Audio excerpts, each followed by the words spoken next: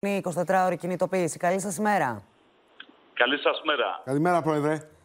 Καλημέρα. Τώρα, εδώ σας λένε ότι είσαστε εργατοπατέρες επαγγελματίες του ΣΥΡΙΖΑ και του ΠΑΜΕ και ότι αντιδράτε ε, με καθυστέρηση τριών χρόνων στο ασφαλιστικό. Δεν αντιδράσατε όταν το έφερε ο Κατρούγκαλος. Αντιδράτε τώρα που φέρνει ο Βρούτσης τις διορθωτικές ε, παρεμβάσεις σε αυτό που είχε φέρει ο Κατρούγκαλος.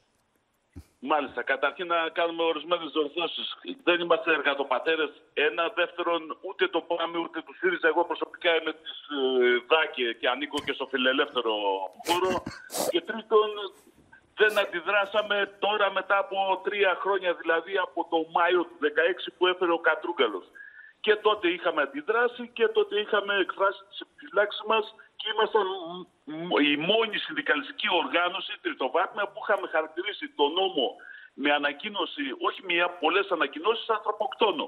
Άρα λοιπόν δεν ισχύει τίποτα από τα προηγούμενα τρία τα οποία μου αναφέρατε.